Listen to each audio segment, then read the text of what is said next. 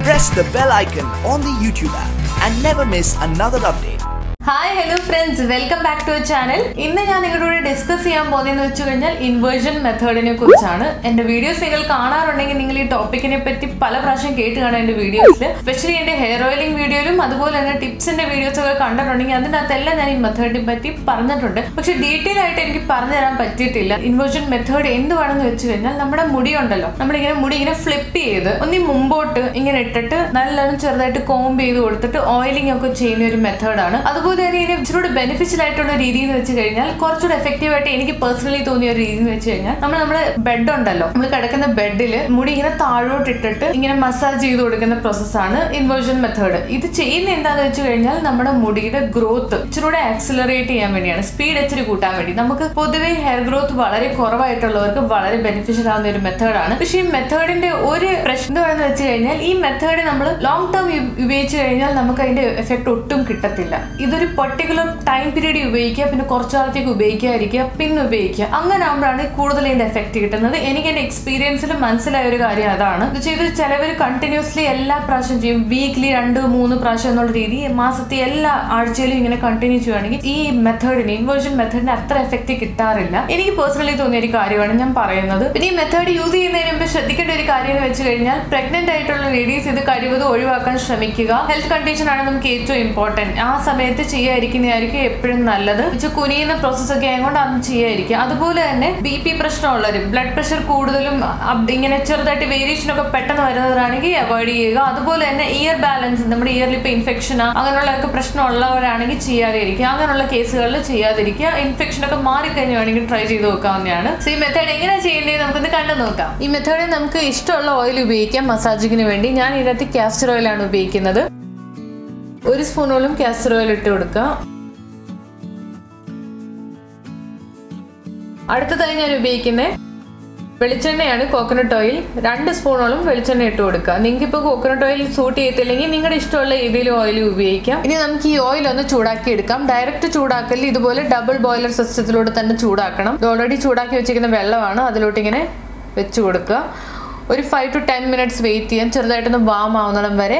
Warm ആയി കഴിയുമ്പോൾ അധികം ചൂടാക്കൽ ചെറുതായിട്ട് ചൂടാകുമ്പോഴത്തേക്ക് തലയിലോട്ട് അപ്ലൈ ചെയ്ത് കൊടുക്കാം ഓയിൽ ചൂടായി കഴിയുമ്പോഴത്തേക്ക് ഇത് സ്കാൽപ്പിൽ അപ്ലൈ ചെയ്ത് കൊടുക്കണം. ഈ മെത്തേഡിൽ യൂസ് ചെയ്യേണ്ടതെന്ന് വെച്ച് കഴിഞ്ഞാൽ സ്കാൽപ്പിൽ വളരെ കുറച്ച് മാത്രം ഓയിൽ മതി. ഹെവി ഓയിലിംഗ് അല്ല ഈ മെത്തേഡിൽ യൂസ് ചെയ്യേണ്ടത്. സോ നമുക്ക് സ്കാൽപ്പിൽ അപ്ലൈ ചെയ്ത് കൊടുക്കാം. സെക്ഷൻ ബൈ സെക്ഷൻ ചെയ്യാൻ നോക്കുക. സ്കാൽപ്പ് നല്ലോണം കവർ ചെയ്ത് നല്ലോണം റൂട്ട്സിലോട്ട് അപ്ലൈ ചെയ്ത് കൊടുക്കുക. അധികം അധികം അങ്ങും ഒരക്കൽ പതുക്കെ പതുക്കെ ഇങ്ങനെ അപ്ലൈ ചെയ്ത് കൊടുക്കുക. സെക്ഷൻ ബൈ സെക്ഷൻ ഇങ്ങനെ ത്രീ ഫിംഗേഴ്സിന്റെ അകത്ത് ഇങ്ങനെ ഓയിൽ ഇങ്ങനെ ആക്കിയിട്ട് അപ്ലൈ ഇങ്ങനെ ഇങ്ങനെ ഇങ്ങനെ ഇങ്ങനെ ഇങ്ങനെ രീതിയിൽ ഇങ്ങനെ മസ് ചെയ്ത് കൊടുത്താൽ പെട്ടെന്ന് സ്പ്രെഡ് ആയിക്കോളൂ ഓയിൽ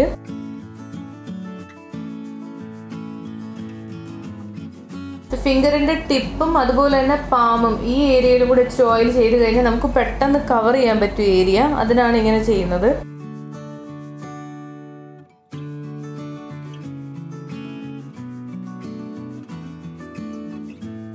മുടിയുടെ ഫുൾ ലെങ്ത്തിലോട്ട് ഇടണ്ട. സ്കാൽപ്പിലോട്ട് മാത്രം കോൺസെൻട്രേറ്റ് ചെയ്തിട്ടാൽ മതി. പിന്നെ ചെറിയ ചൂടോട് ചേക്കുമ്പം ഇതിന്റെ ബെനിഫിറ്റ് എന്ന് വെച്ച് കഴിഞ്ഞാൽ നല്ലോണം അബ്സോർവ് ആവും പെട്ടെന്ന് ഈ ഓയിൽ അതിനാണ് ചൂട് ചൂടോടെ തന്നെ ഇടണമെന്ന് പറഞ്ഞത്. ഇങ്ങനെ ഫുൾ മുടിയിൽ നമുക്ക് അപ്ലൈ ചെയ്ത് കൊടുക്കാം സ്കാൽപ്പിലോട്ട് ഇപ്പൊ സ്കാൽപ്പിലെല്ലാം ഞാൻ നല്ലോണം ഓയിൽ അപ്ലൈ ചെയ്ത് കഴിഞ്ഞു. ഇതിനകത്ത് ഇൻവേർഷനിൽ ഞാൻ പറഞ്ഞല്ലോ രണ്ട് മെത്തേഡ് ഇത് ചെയ്യാൻ പറ്റുമെന്ന്. ഫസ്റ്റ് മെത്തേഡ് എങ്ങനെ ചെയ്യേണ്ടത് നമുക്ക് നോക്കാം. ഫസ്റ്റ് എന്ന് വെച്ച് കഴിഞ്ഞാൽ നമുക്ക് ഇരുന്നുകൊണ്ട് തന്നെ ചെയ്യാവുന്ന ഒരു മെത്തേഡാണ് അത് എങ്ങനെ ചെയ്യുന്നത് വെച്ച് കഴിഞ്ഞാൽ നമ്മുടെ മുടി ഇങ്ങനെ ഫ്ലിപ്പ് ചെയ്തിടുക. ഇങ്ങനെ ഫ്ലിപ്പ് ചെയ്തിട്ട് നമുക്ക് മസാജ് ചെയ്ത് കൊടുക്കാം. മസാജ് ഇങ്ങനെ പെതുക്കെ സ്ലോലി സർക്കുലേറ്ററി മോഷൻ ഇങ്ങനെ മസാജ് ചെയ്ത് കൊടുക്കുക ഓവറോൾ നമുക്ക് ഹെഡ് ഫുള്ള് സ്കാൽപ്പ് ഫുള്ള് നല്ലോണം മസാജ് ചെയ്ത് കൊടുക്കാം. ഇതിങ്ങനെ താഴോട്ട് കുരിഞ്ഞേ ചെയ്യാവൂ. അധികം കുനിയൽ അത്യാവശ്യം നമ്മളെ കൊണ്ട് ബെയർ ചെയ്യുന്ന രീതിയിൽ തന്നെ കുനിയുക. എന്നിട്ട് ഇങ്ങനെ ഒരു ത്രീ ടു ഫോർ മിനിറ്റ്സ് ഇങ്ങനെ മസാജ് ചെയ്ത് കൊടുക്കുക. ഇത് ചെയ്യുന്നതെന്ന് വെച്ച് കഴിഞ്ഞാൽ ഇങ്ങനെ ചെയ്യാൻ നേരം നമ്മുടെ ബ്ലഡ് സർക്കുലേഷൻ നല്ലോണം കൂടും. പെട്ടെന്ന് നമ്മുടെ സാധാരണ നമ്മൾ നിൽക്കാൻ നേരം നമ്മുടെ സ്കാൽപ്പിലോട്ട് അത്രയും പെട്ടെന്ന് ബ്ലഡ് സർക്കുലേഷൻ കാണത്തില്ല. ഇങ്ങനെ ചെയ്യുമ്പം കമന്നിരുന്ന് ഇങ്ങനെ ചെയ്യാൻ നേരം സർക്കുലേഷൻ കൂടും. അന്നേരം നമുക്ക് ബോഡിയിലുള്ള ന്യൂട്രിയൻസ് എല്ലാം നമ്മുടെ സ്കാൽപ്പിലോട്ട് നമ്മുടെ ഹെയർ റൂട്ട്സിലോട്ട് പെട്ടെന്ന് അബ്സോർബ് ചെയ്യാൻ പറ്റും. അതിനാണ് ഈ മെത്തേഡ് വളരെ യൂസ്ഫുൾ ആവുന്നത്. അതാണ് ഗ്രോത്തിന്റെ ഒരു റീസൺ എന്ന് തന്നെ പറയാം ഇതിന്റെ ഇത് നല്ലോണം മസാജ് ചെയ്ത് കൊടുക്കുക. ഒരു three minutes to four minutes maximum ചെയ്താൽ മതി. ഇനി അതിൽ നിന്ന് ആ ഓയിൽ കുറച്ചെടുത്ത് നമ്മുടെ ഈ കോമ്പിന്റെ ഇവിടെ ഇങ്ങനെ ചെറുതായിട്ടൊന്ന് റബ്ബ് ചെയ്ത് കൊടുക്കാം. ഇങ്ങനെ റബ്ബ് ചെയ്ത് കഴിഞ്ഞ് നമുക്ക് ഇതിന് ചെറുതായിട്ട് ഇങ്ങനെ ചീകി കൊടുക്കാം. അതൊരു കോംബ് ചെയ്യാൻ ഈസി ആയിരിക്കും മുടിയും കുറവായിരിക്കും പൊട്ടുന്നത്. ഇങ്ങനെ കോംബ് ചെയ്ത് കൊടുക്കുന്നത് നല്ലതാണ് ഇങ്ങനെ ചെയ്യാൻ നേരം. ഇങ്ങനെ നല്ലോണം നമുക്കിങ്ങനെ ചീകി കൊടുക്കാം. അന്നേരം ബ്ലഡ് സർക്കുലേഷൻ നല്ലോണം എല്ലായിടവും കിട്ടും. ഒരു ചെറിയ മസാജിങ് എഫക്റ്റ് പോലെ തോന്നും. തലയിൽ നല്ല റിലാക്സ്ഡ് ഫീൽ ആവും. കോമ്പ് വെച്ച് ഇങ്ങനെ ചെയ്യാൻ നേരം സ്കാൽപ്പിലൂടെ ഇങ്ങനെ പതുക്കെ പതുക്കെ മസാജ് ചെയ്യുന്ന രീതി ചെയ്യുക. അന്നേരം നല്ലൊരു സൂതിങ് എഫക്റ്റ് ആണ്. നമുക്ക് രാത്രി ഇത് ചെയ്യുകയാണെങ്കിൽ നമുക്ക് ഉറങ്ങാൻ നേരം നല്ല ഉറക്കവും കിട്ടും. ഉറക്കം കുറവുള്ളവർക്ക് നല്ലതാണ്. നല്ലൊരു മസാജിങ് എഫക്റ്റാണ് കിട്ടുന്നത്. പിന്നെ ഇടയ്ക്ക് കൈ കൊണ്ട് പിന്നെയും മസാജ് ചെയ്ത് കൊടുക്കുക.